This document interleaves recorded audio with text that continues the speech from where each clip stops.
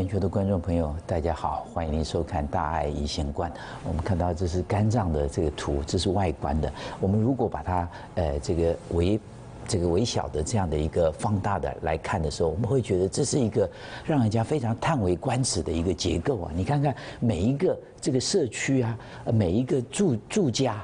它有共通的很多的公共设施，然后又能够很便捷的把它的一个功能串联在一起啊，是一个不但考虑到它的空间的呃充分利用，而且把功能的一个整合做得非常好的这样的一个结构。胆道系统这个是绿色的，红色的是血液的一个系统，回流的静脉系统等等，就在这样很精巧的结构中啊，我们才有办法把这个肝脏的功能啊，我们把它呃做得非常好。那然后我们再看一下这个呃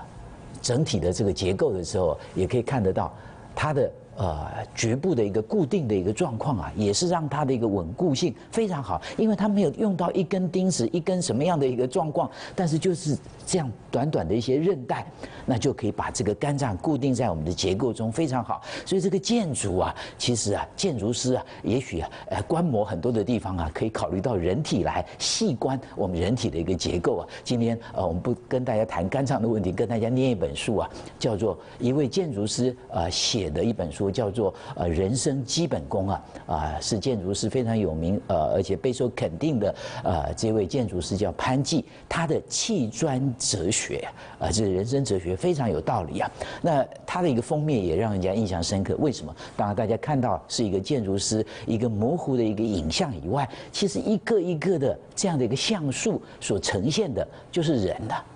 所以，一个建筑到底是什么？这一个封面就告诉我们，最基本的元素就是人呐。所以，这从人的观点，从人的基本功里面，你才有办法达到一个完美建筑或者一个理想建筑那样的一个基石啊。呃，这位。建筑师他本身呢，啊，他的一个设计啊，我们相信啊，大家看到都会非常佩服。呃，不只是前卫，有它的内涵，有它的时代意义啊。像这是真理堂在台北的这样的一个呃建筑的一个状况，像这个是文化大学呃体育馆，啊，在夜色中啊啊，有非常现代的那样的一个呼应，跟这个古典的啊。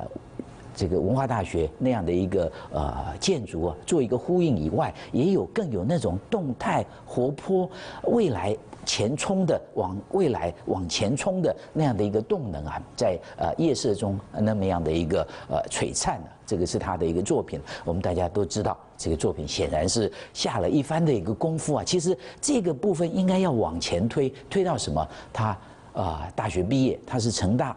建筑系毕业的。建筑系毕业以后，呃，当时啊，也都是很多人，呃，其实现在应该也有一些人呢，就会到美国那个地方研究所去继续的，呃，希望更呃把这样的一个学业学习啊，能够有更深厚的一个基础，他就写了很多的呃这个申请啊，希望去读研究所。那其中有一所研究所非常特别，这是在德州，呃，莱斯大学啊，休斯顿莱斯大学，那么就给他回复啊一个呃信函。还是非常特别，所有的信函回复里面最特别一幅，他告诉他说，他们对他非常有兴趣，他表现各方面都不错，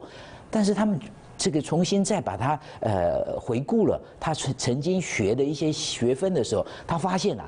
在台湾他所学习到建筑方面的，大概都偏重于理工这方面的，在人文方面的课程啊。相对好像不是那么样的足够啊，所以他们给他一个建议，建议是什么？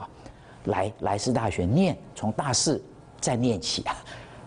补充一些人文的课程、人文的学分啊，因为人文永远是所有科技的最重要的基石啊。哎，所以他给他奖学金呢，就到莱斯大学去从大四念起，后来再念研究所，研究所念完以后，在美国也没有马上回到台湾来。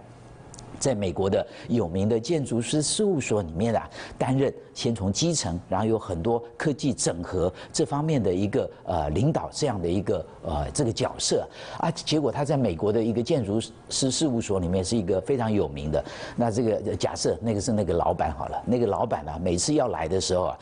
人还没到，声音先到，什么声音呢？那个皮鞋。非常呃有力，然后呃呃这个让人家呃这个不寒而栗的 那样的一个声音啊出来，脸色永远是那么样的严肃啊，那么样的让人家不寒而栗啊。然后呃你提出来的一个呃计划怎么样？他三两下。呃，非常不留情面的修理的一塌糊涂啊，所以他就认定了说，其实这只是一个学习的过程啊，他将来绝对不要变成一个这样的一个人物啊，所以他这个呃，从他的一些的一个过程中，有时候也不一定很多的东西都是呃。我们要学习这样负面，我们看到要避免，这也是一种学习啊。所以他在回到台湾以后，慢慢的，像这是台积电的这个建筑啊，像这个是一个啊这样的一个非常现代有弧形的、有弧度的这个建筑，这是一个显示板这样的一个建筑，他就把这种呃原理跟呃实际上的一个外在的一个形象做一个结合，像台积电那个就有点火车头的那样的一个味道，所以整体系列的一个产品有它的特色。大家想说哇，真是呃不得了！从美国一回来就有这么样的成绩，也不是。竹科它是从哪里设计开始？它是从大门设计大门开始的。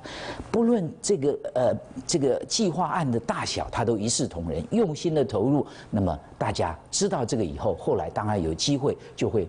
让它有。更多的一个表现的舞台，这也是告诉我们要学习的事情啊。不过他提到，人生最重要的其实就是类似像这个之前有本书啊，叫做《最后的演讲》，兰迪·鲍许啊，这是一位呃这个美国大学教授，凯奈基大学啊啊大学教授。他们他后来因为胰脏癌去世啊，他提到的人生基本功是最重要的一件事情。什么是人生基基本功？这位兰迪·鲍许他提到就是说，他在小学的时候参加橄榄球球队，结果要练习的时候第一。场，哎，大家小朋友十几二十个人都在那个地方，教练也来了，就发现教练空手而来，他们就问教练说：“哎，我们不是要练橄榄球吗？啊，这个球在哪里呀？”这个教练就跟他们讲：“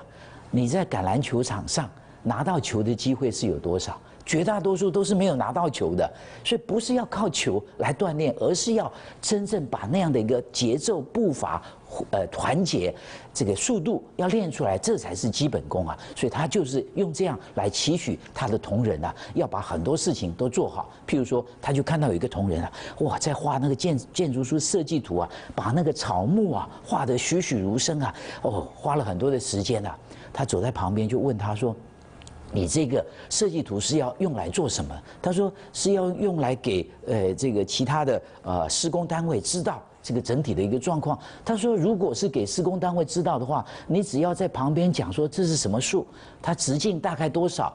多少大小的树就够了，你不要画在那样的一个时，花那么多的一个时间在做那个没有意义的沟通的事情上面啊。所以这个都是小事啊，但其实对一个人生的一个未来有非常重要的一个启发。他也告诉他同仁什么，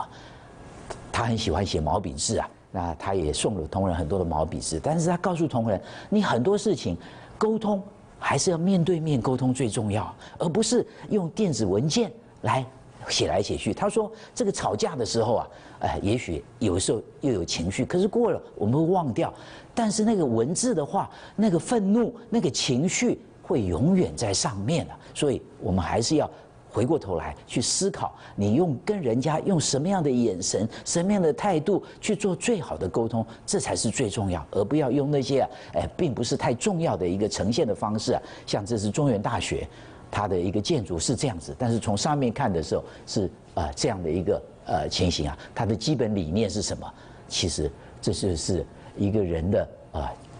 精神呐，跟他的一个身体，啊跟他的灵魂，这三个怎么给它结合在一起？这才是全人的教育啊。所以这个理念透过这样的一个建筑，让更多人能感受得到，